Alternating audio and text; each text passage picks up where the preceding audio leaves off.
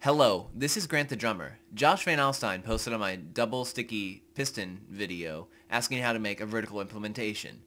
Here is my version of it.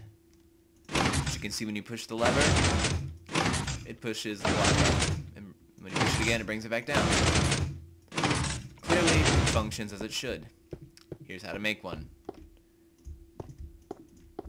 Put six pieces down, put another piece there, leading to your two sticky pistons with whatever you want to push on top of them.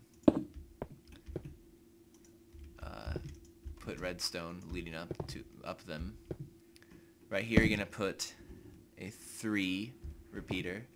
Here, you're gonna put a one. Right here is gonna be a two, and here is another one.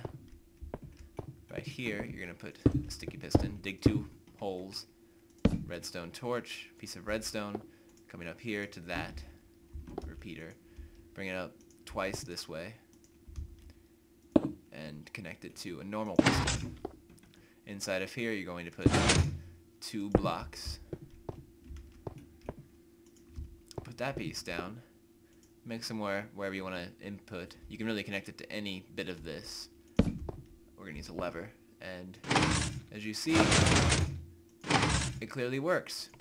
If you have any questions or want me to make any other videos, let me know in the comments. Thanks.